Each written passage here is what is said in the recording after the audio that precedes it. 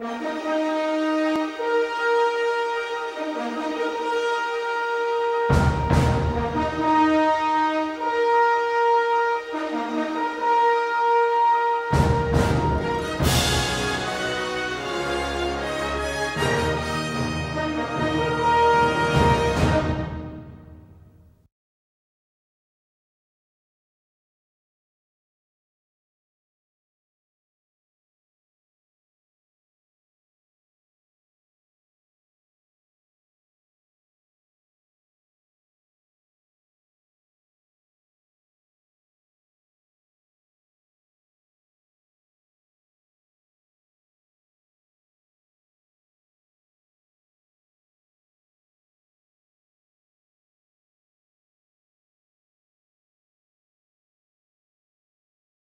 I left a little present for Angela.